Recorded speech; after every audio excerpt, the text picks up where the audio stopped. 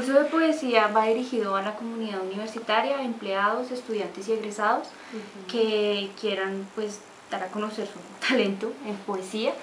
La idea es que ellos eh, mandan el poema, aquí se hace una base de datos, se reúnen tres jurados y ellos deliberan, pues dan tres premios y menciones especiales.